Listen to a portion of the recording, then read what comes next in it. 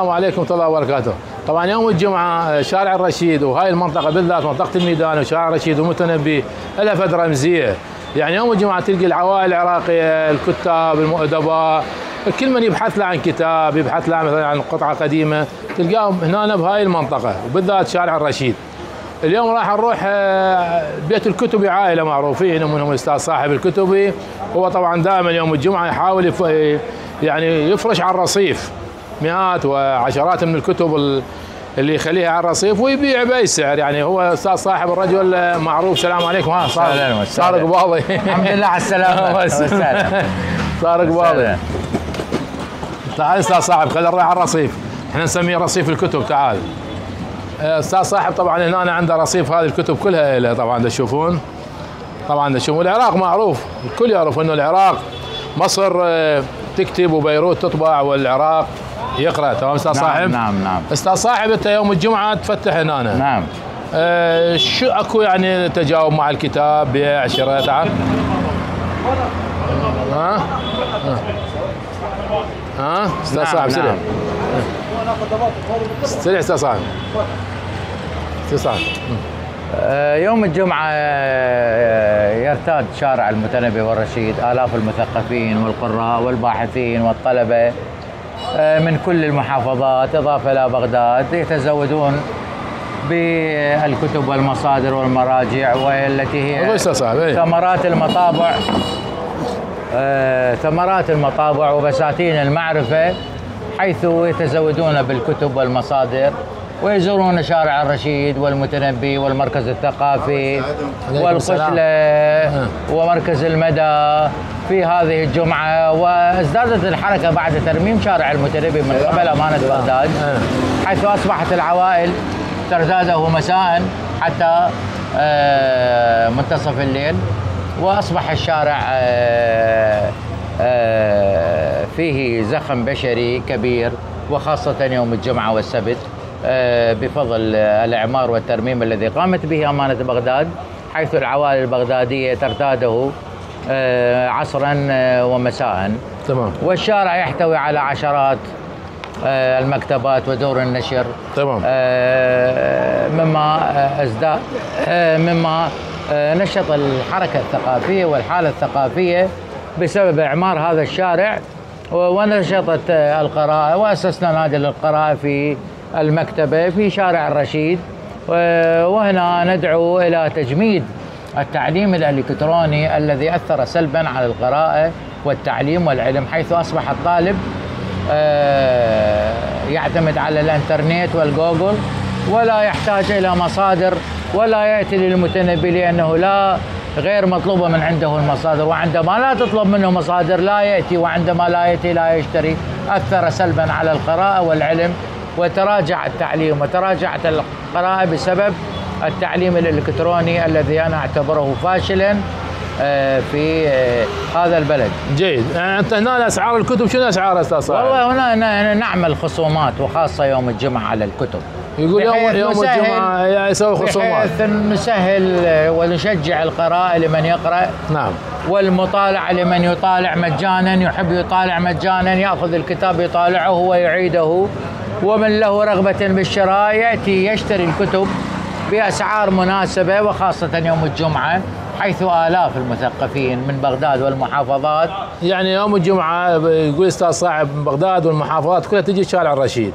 وهذه فرصة مثلا اللي باعت الكتب إنه يأخذون هاي الأرصفة في نعم ذلك. نعم. مثلا مثلا هذا السعر قد سعره مثلا هذا الرسائل؟ ثلاثة آلاف في الأيام الأخرى نبيعه خمسة آلاف تشجيعا للقراءة. يعني باقي الأيام بخمسة بس يوم الجمعة ب يعني 3000 فسحا للمجال للمطالعة والقراءة والتشجيع تمام. حيث آلاف المثقفين أك- يأتون المتنبي والرشيد. أكو رواد يشترون يعني أكو طلب على الكتاب أكو طلب يوجد طلب أنه مثلا الدراسات العليا آه، المثقفين الأدباء الشعراء الطلبة المواطنين العاديين. آه، طلبة الكليات آه، آه، وخاصة آه، مصادر يحتاجونها في دراستهم.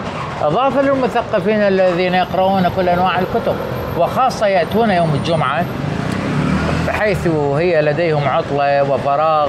وفسحة أكيد أكيد. للزيارة والاستمتاع بهذا الشارع الثقافي. أكو أكو على كتاب معين طلب له عامة الكتب. الطلب على المصادر التي تخص دراستهم من ناحية كتب اللغة والادب أكثر كتاب عندك يمشي. وكتب القانون عليها طلب. صاحب أكثر أكثر الكتب الرواج الروايات والتنمية البشرية هي أكثر قراءة وأكثر بيعا في شارع المتنبي والرشيد. الروايات؟ والتنمية البشرية. والتنمية الب- يعني هذه أكثر طلب عليها بال... أكثر الطلب عليها في الكليات وفي المتنبي وفي الرشيد تمام زين آه، تفضل تفضل تفضل.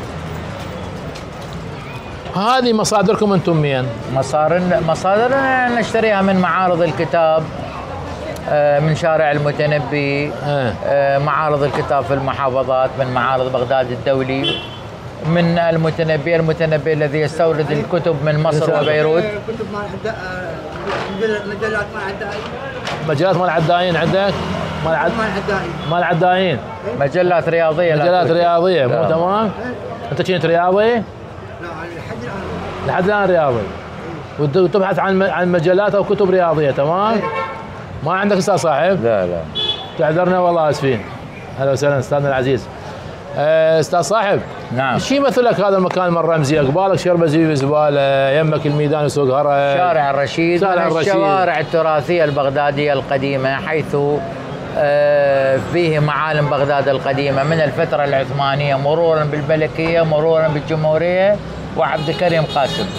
هذا الشارع من الشوارع التراثية المهمة القديمة في بغداد الذي يحتاج تأهيل وترميم وخاصة كما ترى الأبنية القديمة. وإن شاء الله يوجد مشروع في أمانة بغداد لتأهيل الأبنية التراثية القديمة تمهيدا إلى مشروع ترميمه وتأهيله من جديد عما قريب.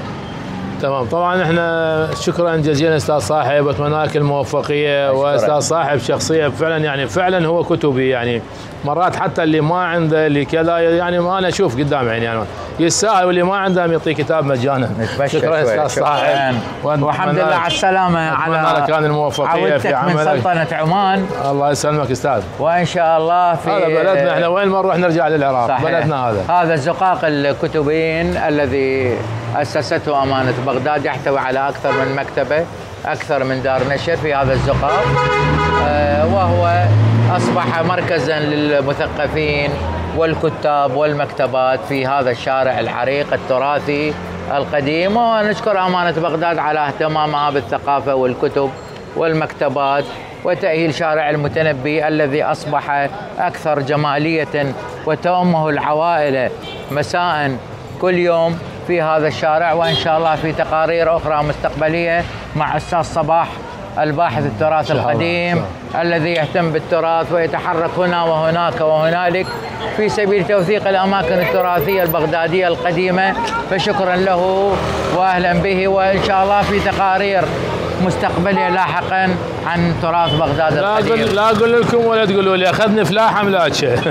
أخذني فلاحه ملاكه لا خلينا اسولف لي سالفة. ولا أستاذ صاحب شكرا جزيلا. شكرا جزيلا. أستاذ صاحب شكرا جزيلا.